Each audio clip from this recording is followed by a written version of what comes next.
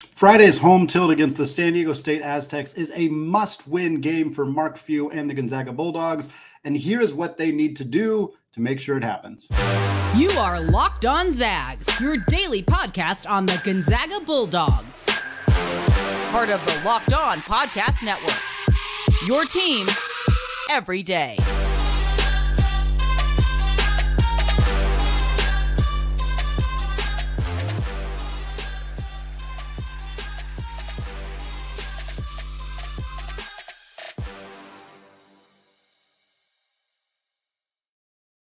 What is going on, y'all? Welcome into the Locked On Zags podcast, part of the Locked On Podcast Network, your team every day. I'm your host and longtime Gonzaga podcaster, Andy Patton, here to bring you news and updates on all things Zag athletics. Today's episode of Locked On Zags is brought to you by FanDuel. Make every moment more. Folks, right now, new customers can get $150 in bonus bets with any winning $5 moneyline bet. It's 150 bucks in your pocket if your team wins. So visit fanduel.com slash locked on today to get started. Happy Thursday. We are previewing Gonzaga versus San Diego State today. Going to close out the week with a fun conversation about the WCC and the new additions of Oregon State and Washington State, but wanted to give this preview of this big game on Friday evening against the Aztecs some room to breathe. We're also going to close out the show talking about Chet Holmgren and his Rookie of the Year odds uh, in the NBA, as well as some other Zags in the NBA updates and a, a conversation about being able to vote for those Zags in the All Star game. But first, we're going to get into who this San Diego State team is, how they look similar and different from last year's team that was the national championship runner up. And then we're going to talk, of course, about our five keys to a victory. Game between Gonzaga and San Diego State will be December 29th. Tomorrow, as many of you are listening to this show, the game is at 6 p.m. Pacific time. It is at the McCarthy Athletics Center. It is a big, big home game for the Zags, and it is going to be on ESPN2. Right now, as we are recording this, San Diego State is 29th in the net rankings. As a reminder for the quad one, quad two, quad three conversation, any home game against a top 30 net ranked opponent is quad one. So if Gonzaga wins on Friday, that will be a quad one victory. Of course, San Diego State will probably drop in the net rankings. It is kind of a confusing way that the system works. Ideally, this is a game that by the end of the season will be chalked up as a quad one game for Gonzaga. The hope is that San Diego State is able to make enough noise in the Mountain West. They have plenty of good opportunities to pick up marquee wins in conference play. Colorado State has been one of the 25 best teams in the country. New Mexico is a borderline top 25 team. Boise State has looked good. UNLV has picked up some big wins. Like there are there are very good teams in the Mountain West, and for San Diego State enough wins in that conversation should keep them in the top 30 of the net, or at least in that conversation, hopefully resulting in a quad one victory for Gonzaga because they don't have, they have one other opportunity. Zero opportunities for quad one victories in conference play. We will see what that ultimately looks like. It's possible a road game against St. Mary's ends up being a quad one game. I think that probably will be. Uh, but St. Mary's has not particularly inspired a lot of confidence this season. Uh, San Francisco, I'm not sure whether the net is going to count that game at um, we're at the Warrior Stadium as a neutral site game or a true road game for Gonzaga. That that distinction is important in terms of whether that game will be quad one or not. But uh, this, regardless, this is a big game. It's an important game for Gonzaga to win this one to carry some momentum into the conference play into the year 2024. Pick up a marquee uh, marquee win against a very good opponent uh, before they get into conference play. I would also even the series. Right now, Gonzaga is down one to two uh, in this series against the Aztecs. Uh, they lost in San in San Diego on December of 2017. It was a one point loss to the Aztecs, really tough one there. Uh, they won the year prior, 69 48 uh, in 2016. And then, of course, back in 2010, some young man named Kawhi Leonard in a San Diego State uniform came and helped defeat Gonzaga back in 2010 again at the kennel. So Zags lo- love to even the score here and also pick up a much needed quad one victory.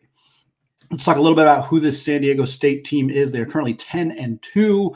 Their only losses are a true road game against BYU. It's a nine point loss and a loss that has aged quite well as BYU has looked really, really good. That was kind of the first opportunity for the Cougars to, to show that they were the real deal this season.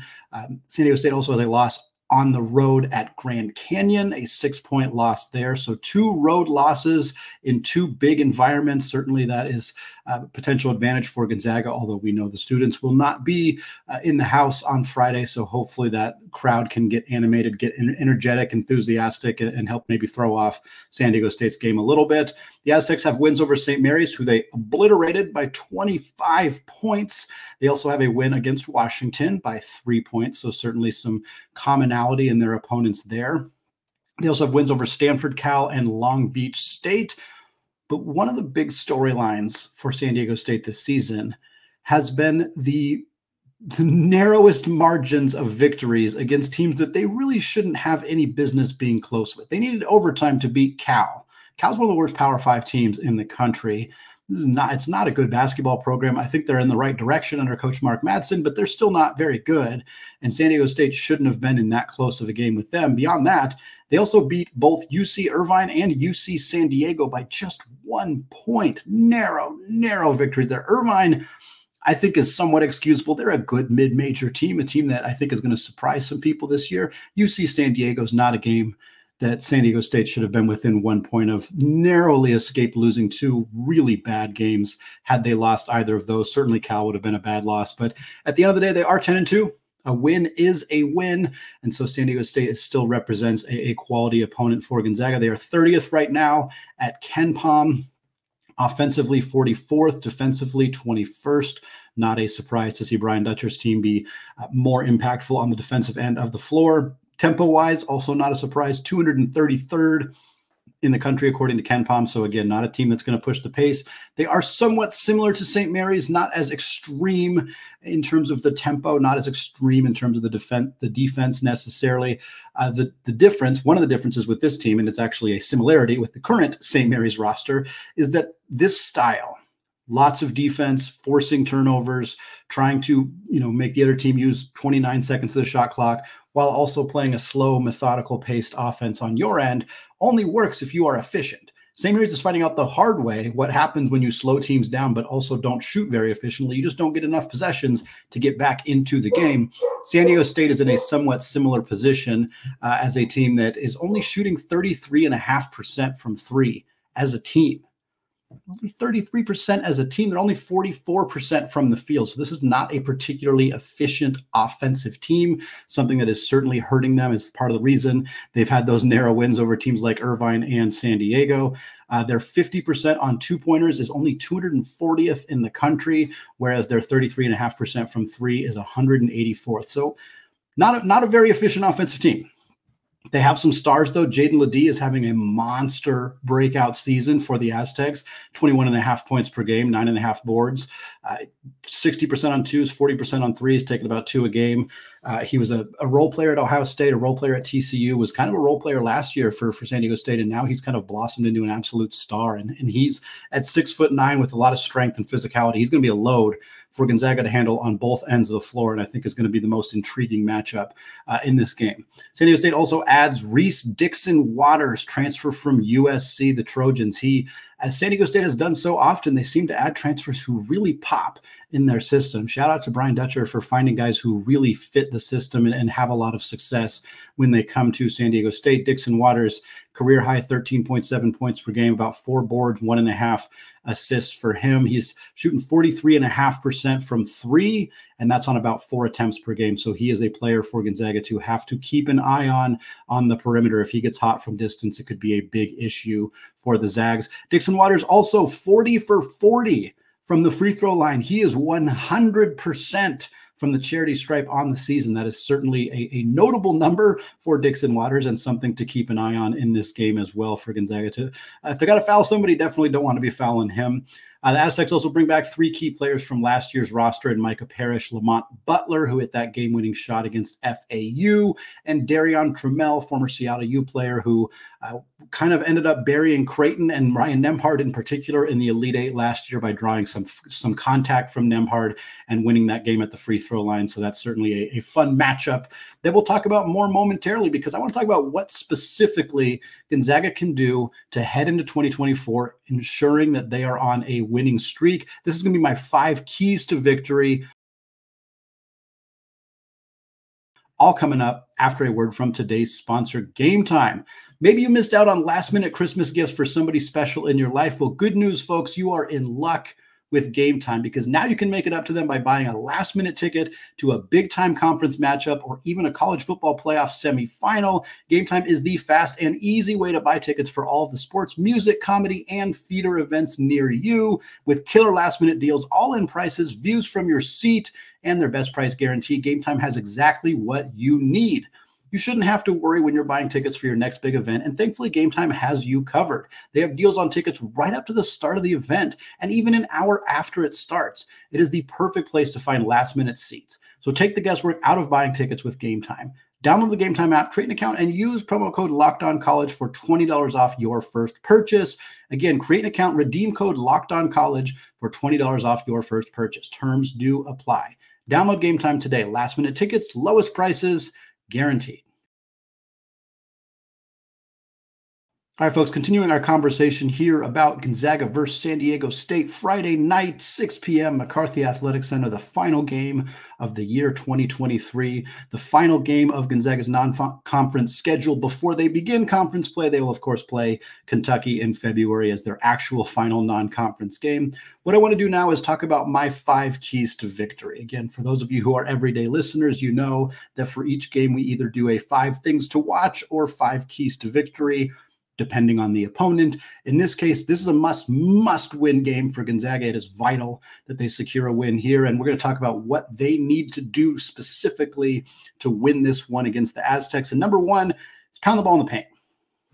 It's a key so often for Gonzaga. It's a, a, huge part of their offensive identity, but it is really mission critical against this San Diego State team. For starters, San Diego State does not have a rotation player taller than six nine and technically Graham Ike, I think, is listed at six nine. Watson six eight, six nine.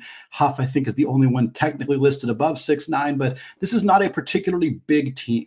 LeDee is a load. He's very strong, very physical. He is listed at six nine. He's kind of Ike esque in terms of his build and a better scorer than Ike right now. But they don't have a ton of. They can't just throw a bunch of seven footers at Gonzaga and, and you know force them to to shoot over them. They're they're going to struggle to defend around the rim, and in fact, they have this season. Opponents against San Diego State are shooting forty nine point nine percent on twos, basically 50% from the field on two pointers, yet they're only shooting 29% from three. That combination against a Gonzaga team that, as we all know, cannot shoot from three, but is quite efficient around the rim, makes it imperative. San Diego State is going to do whatever they can to force Gonzaga to shoot threes. I don't know if they're going to run a zone defense. It's not something we've typically seen from them, but whatever they can do to make Gonzaga settle for threes as opposed to pounding the ball to Ike, pounding the ball to Braden Huff, pounding the ball to Anton Watson, even Ben Gregg, who doesn't do a lot of low post scoring, get the rock into the paint and let Gonzaga try to score around the rim. Because this is not the team to try to break out of the three point slump. It's not. Maybe it will happen organically. Certainly, if you have a wide open shot or it's the end of a shot clock or whatever. I'm not saying don't take any threes. That would be ludicrous. But it's this is not the game to try to break out of that. This is the game to try to pound the ball on the rock and win a physical matchup down on the block because we have the horses to do it. San Diego State, they may not. Key number two, got to take care of the basketball again kind of kind of an obvious one something that happens in every game. The more you the more you turn over the basketball the less likely you are to win. That's not rocket science.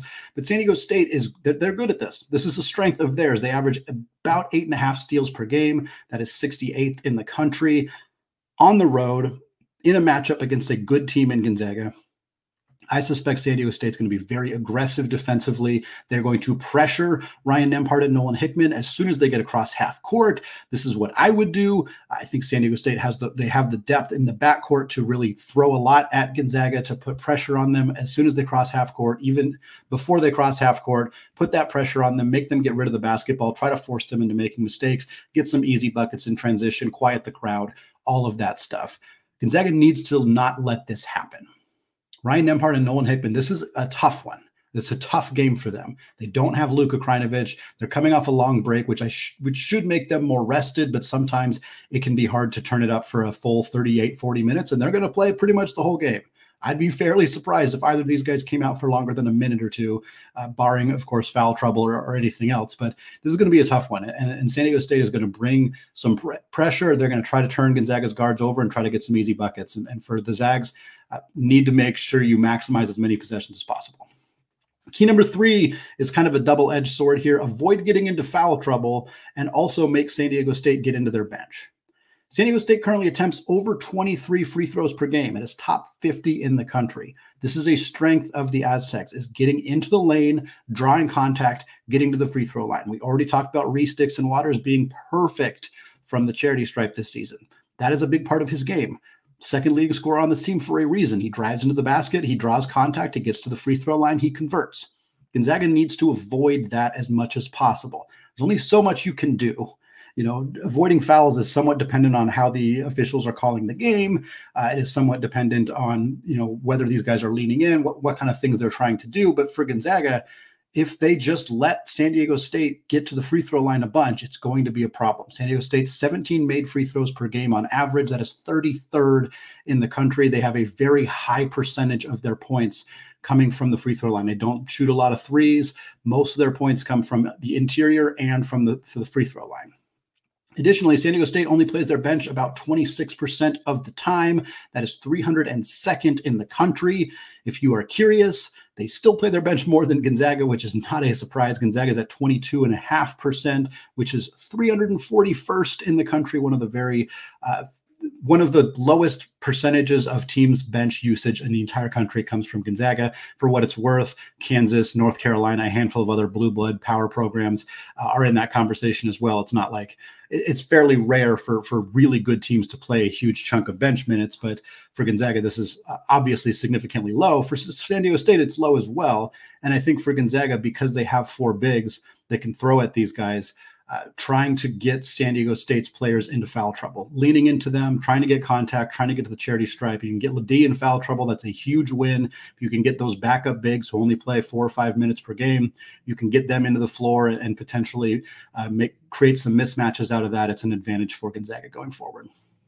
Key number four, I touched on this briefly at the end of the first segment. There is Ryan Nembhard because Ryan Nembhard's probably got some feelings about San Diego State. For those of you who missed this game last year, the Elite Eight, Creighton, San Diego State, it was a barn burner of a game, a fantastic contest, but it ended somewhat controversially. Darrion Trammell, now in a backup role for San Diego State, he was our starting point guard last year, uh, drove to the basket, uh, got fouled by Ryan Nembhard. It was a, I want to say a phantom foul call, but you watch the replay, he did get him. It was a pretty weak foul call, but it was a foul. He made contact. Darrion Trammell knocked down the free throws. That ultimately led to an Aztecs victory. They advanced to the Final Four.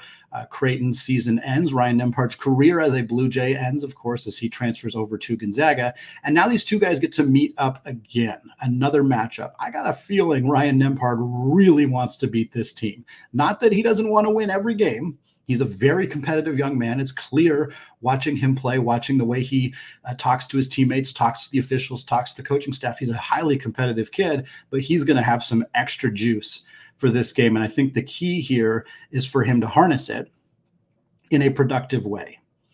And we already talked about avoiding turnovers and dealing with the pressure. We already talked about not necessarily having this game be a big three point shooting contest. And I think those are keys for Nembhard don't get so jazzed up that you're taking shots you shouldn't be t- taking. And to be clear, this is not something that Nembhard has struggled with. We all know he's not shooting well. 17.1% from three, in case you needed a reminder. Many of you did not. But it is not because Ryan Nembhard is jacking up a bunch of ugly threes. He's taking good shots. They're just not going down. This is not the game to try to take some crazy shots. This is the game to settle into the offense, keep the pace, get Gonzaga into the half court offense, get the ball to Graham Ike, get the ball down on the block, uh, find those passing lanes, find the driving lanes if they're there, attack this team. I think Ryan Nembhard's going to have a lot of, of energy and a lot of juice in this game, but if he can harness it in a way where he's not making mistakes, he's not turning the ball over unnecessarily, he's not taking bad shots, this is the kind of game that could turn his season around. I truly believe that a big time performance from Ryan Nembhard, 20, 25 points, uh, very efficient numbers, good assists, like getting some steals on defense. That's the kind of performance. And then, of course, leading Gonzaga to a victory that turns the season around. That by the time WCC season rolls around, he is ready to roll. He's dominant in that first game against Pepperdine. And by February, we've kind of forgotten about the slow start he had to the season. Key number five strong start for the Zags. Always a key at home, but this game is going to be different. The kennel's not there. The student section is not going to be in the house for this game. There will be students there. I'm sure there always are. They find ways to get into those games. I think that maybe even the the uh, faculty will allow a, a, specific section for students at these games. They have in the past. I know that, but it's not going to be the same energy. And it's unfortunate that the marquee non-conference home game for Gonzaga happens to be over winter break. It's a frustrating thing that happens semi-regularly and just there's not really anything you can do about it.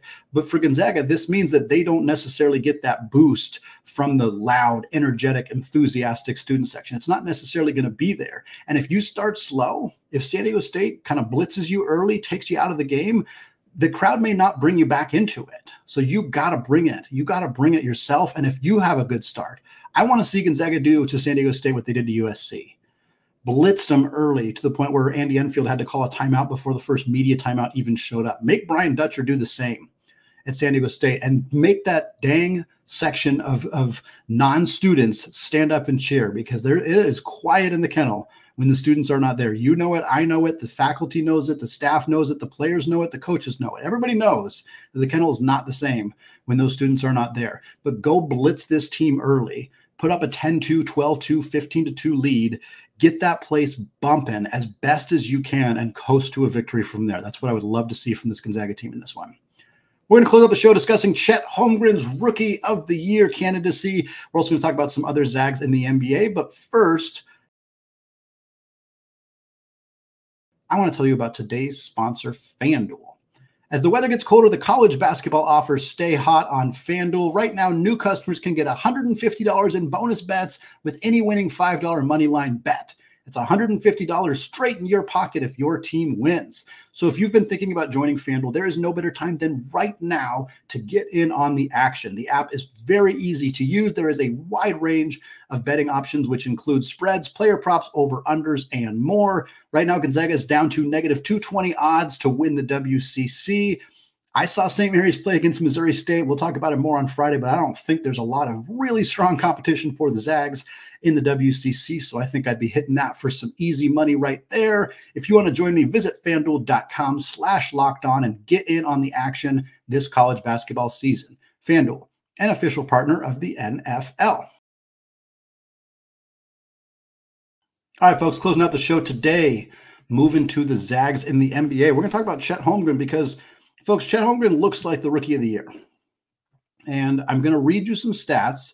We're going to compare Chet Holmgren, which this show is being recorded before their game against the New York Knicks. So the stats are going to be slightly out of date as you're listening to it. But we're going to compare his stats to Victor Wembanyama, of course, the number one overall pick in the 2023 NBA draft, French sensation, joining the San Antonio Spurs, seven foot four long, very, very, very talented young man. Two absolute budding superstars getting to play their first NBA action the same season. Of course, Chet was drafted a year previously, but it is very fun to see these two guys go at each other.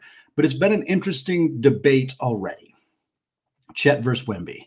And what's interesting about it is Wemby's numbers on paper are going to look a little bit better. Here's the comparison through 28 games for Chet Holmgren, 17.3 points compared to 18.3 points for Wemby. Chet has 7.9 rebounds. Wemby has 10.6. Chet has 2.7 blocks. Wemby has three. Chet has 2.5 assists. Wemby has 2.8. They're both playing almost exactly 30 minutes per night. So Wemby's got one more point per game, about two and a half more rebounds per game, less than half a block more per game, and less than half an assist more per game. Here's the difference Chet is shooting 61.3% on two point field goal attempts. Wembanyama is at 50.2. Chet is 11% better at two point field goals. From three, Victor Wembanyama is currently shooting 27.8%. Chet, 37.6. So Chet is 11% better on two pointers. He is 10% better on three pointers. Both are very good free throw shooters. Wembanyama is at 77.1. Chet is at 84.5. So still 7% better from the charity stripe. That's a big difference. And to me, that is a bigger difference than one point per game. Two and a half rebounds is fairly significant. I will give that to Victor Wembanyama. He is a better rebounder than Chet. He is a little bit taller. He is a little bit longer, but he is a, a better rebounder. He deserves that. The blocks is pretty even. The assists is pretty even, but the difference in efficiency is dramatic. That's a lot of shots per game that Victor is missing that Chet is not. It's a big, big difference between those two things. And their role is different. And this is the conversation for those of you who are paying attention to this. If you're on Reddit or if you're on Twitter or if you're on wherever else they're discussing Victor Wembanyama versus Chet Holmgren, wherever that discourse is happening, a big there's a couple things that keep coming up. And the main one is the difference in role. And this is this is legitimate. Chet is not the best player on his team. Shai Gilgeous Alexander is one of the five best players in the NBA. He's one of the five best basketball players on the planet. He is playing like it. He is he might be the MVP in all of the NBA this year. And he, he would probably deserve it the way he's been playing lately. Jalen Williams, former Santa Clara player. I don't think he's better than Chet, but he is a, a, a, really good scorer. He's better than any scorer that is on San Antonio's roster outside of Wembanyama himself. So to me, Chet can play more of a complementary role. This is what he's really good at. And this is why I find it interesting. I understand the Gonzaga fans, and many of you are on YouTube commenting. Many of you are on our Discord channel, and I get it. I've seen these conversations. I understand people who are like, why didn't Chet Holmgren do this at Gonzaga? Why did Mark Few hold him back? And I can understand some elements of that argument. I can. There, there are things Chet is doing in the NBA that he wasn't able to do in college because the rules are different, the spacing is different, defensive three seconds is different. Like there's a lot of things that that are different, and I think some of that is just unfair to compare. It's it's just they, they don't really line up the same way. But Chet is Chet Chet is at his best right now because he is not the team's best player. That is not the role he is being asked to fill. Chet was extraordinarily good at Gonzaga, and I think in part because of the same reason, because he was not asked to score every time down the floor. He was not the opposing team's focal point. That was Drew Timme.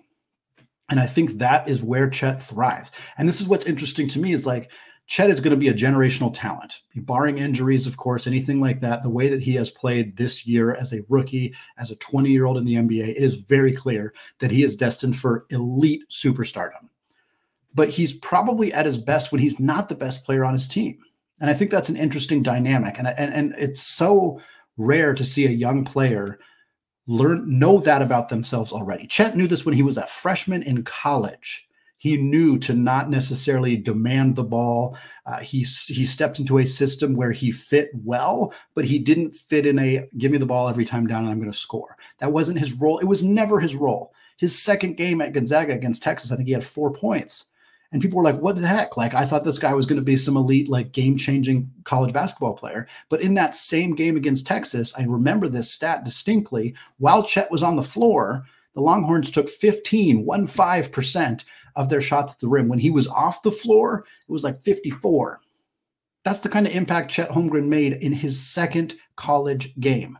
And he didn't make it by scoring 25 points on 25 shots. He made it by being an impactful defensive player just from his presence alone.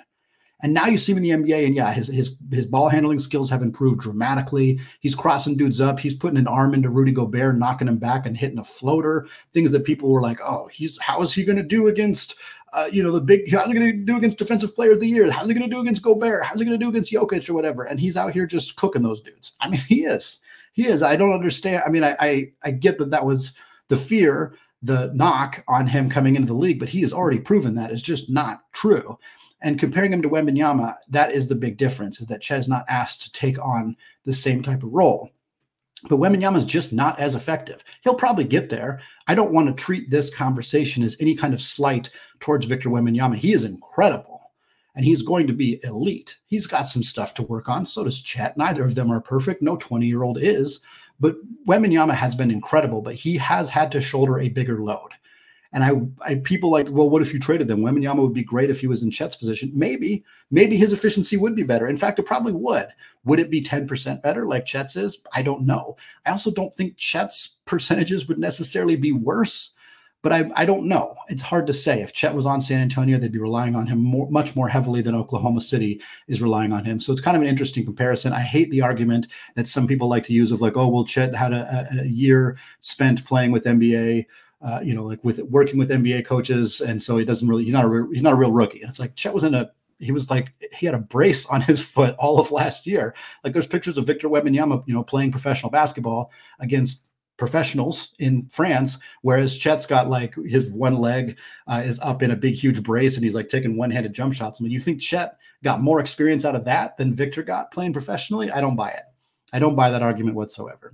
So for me, Chet's the rookie of the year. Obviously, there's a lot of NBA season left to be played. So we will see what it all looks like. Big question, too, is whether Chet's going to be an all star. And I got to tell you right now, you can vote the NBA All Star voting is open. You only vote for starters, so unfortunately, the neither Chet Holmgren or Domantas Sabonis is probably going to be voted as a starter in the Western Conference.